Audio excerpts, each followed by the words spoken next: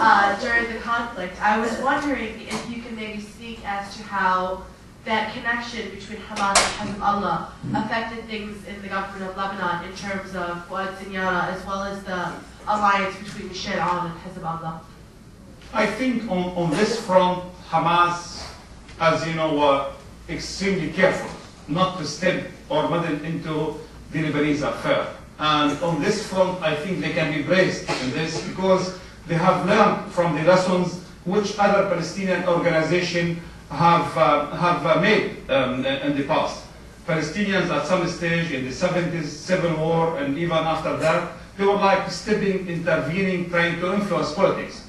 On this front, I don't think anyone can accuse uh, Hamas of stepping into or meddling into the Lebanese affair and the kind of uh, visits and contacts they made with everyone in Lebanon, uh, Sunnis, Shias, uh, Christians, I think was a reflection of that they were extremely careful not to intervene. This is really the kind of uh, relationship and I don't think have influenced. Far from this, as you know, all Palestinian refugees in Lebanon are Sunnis. And definitely no way, even, you know, whatever happens, whatever their, their stand in politics, they will not take something against the government of Siniora or the majority Sunnis.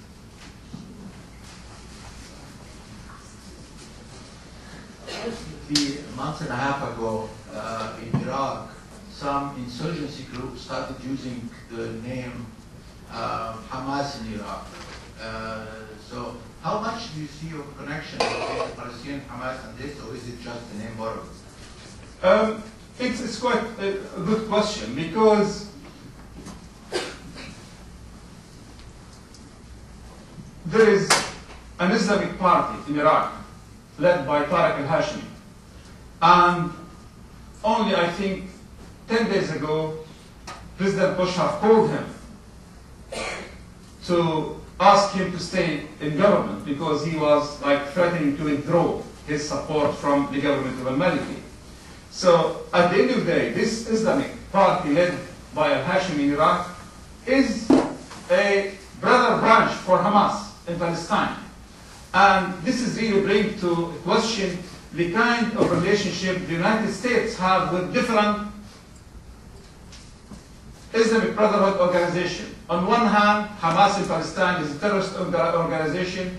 On the other hand, we are fully engaged with the Islamic Party in Iraq or trying to see the American ambassador like holding meeting with some influential figures in Egypt. This kind of relation. Or recently, the kind of support the State Department is giving to the Islamic Brotherhood in Syria. So it's quite a bit confusing. And at the end of the day, as I mentioned, you know, the Islamic Brotherhood worldwide is one movement. So for the NOM, I'm sure it should be one of the branches, maybe belong to uh, Al-Hashimi's Islamic Party.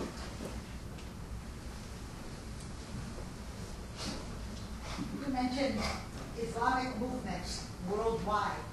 What is their worldwide goal? The Islamic Brotherhood, I mean. What is their goal? Their goal, I'm sure, I, I'm not an Islamist to start with, so I won't, I won't step too much, but knowing that, you know, in general, they are a moderate movement.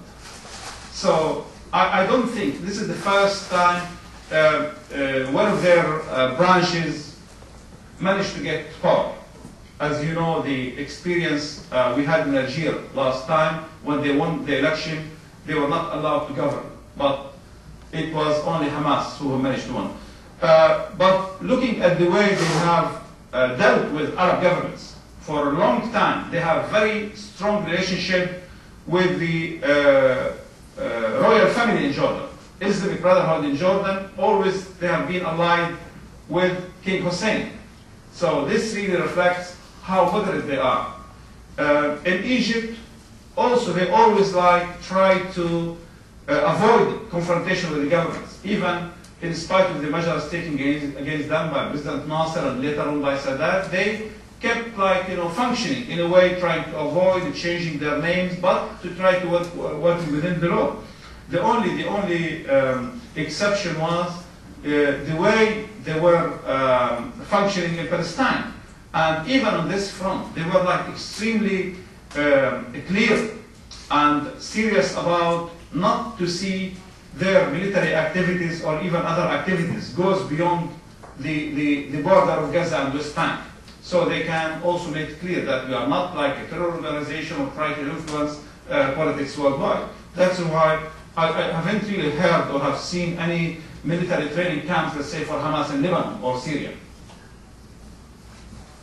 Uh, You, uh, you talk about something that has been very emotional, the right of return of the refugee.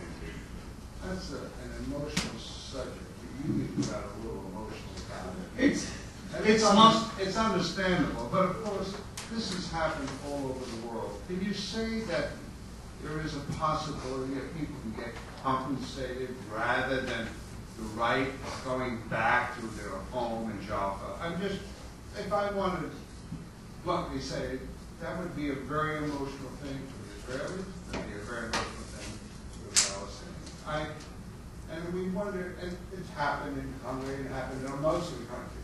There was always compensation given. Could that be the case, but you can use it as an emotional tool for politics? And I'm just wondering if that is something that you want to discuss. um, it- it's, a, it's a good point.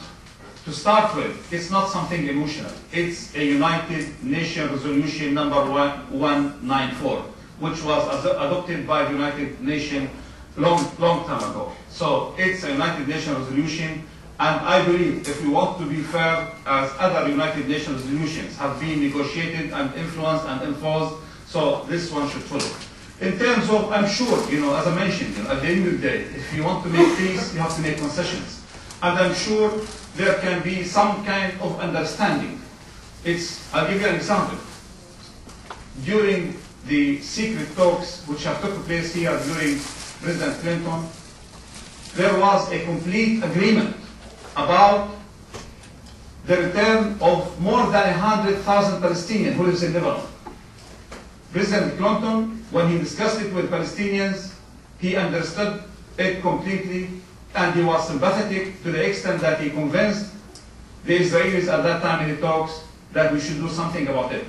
And they tried to find some different banners to say it's like, you know, let's look at it from other angles. We sh- shouldn't like name it the right to return, but we would call it like, okay, we just have to help families get together. So I'm sure when there is like this concern, this consent about that we should achieve peace, I'm sure there are so many things at the end of the day. You know, as I mentioned, there are a large number of Palestinians in Lebanon. But I'm sure if you give them the right to return, they will not go to, to, to, to live back because either they have migrated, they've got families, or maybe as far, as Sweden or Norway or as United States or Chile. So, but it's, it's quite important if the Israelis, and I know that how sympathetic they get to this, I'm sure if they have feeling, others have feeling too. To solve this problem, we should stop from thinking this way. It's like saying, I really agree with you, I'm sympathetic with you, but let's have it. No, we have to make concessions and it has to be on both fronts. This is really the point where we need to get so we can put things behind and look for the future. I, I applaud your willingness to look at this constructively, but we're framing only half of the issue. We're framing only half of the issue when we speak of the, uh, the Palestinian refugees from the creation state of Israel. Uh, and I'm sure you know, probably an equal number of Jews emigrated from Iraq, from Jordan, from Egypt, from Morocco, huge numbers, uh, probably almost exactly parallel with the population of, of Arabs that left Israel its creation. So what, what should I do with this? It's not my fault, I- it's not I- my choice. Why this Well, I saying- should pay a price for it. I, I started this by saying that I Yeah. applaud your willingness to look Yeah. at this constructively. But, but I say frame the issue that the right of return or the right to compensation or some other resolution of this very, very difficult issue must not look just simply at half of the equation, but must look at the entire problem. Of course, of course, there is a need to look at it, but as I mentioned, you know, you mentioned that the, the Jews who were migrated from Morocco. Nobody have forced them, and I know that. No, no, this is not true. I can tell you a, a very.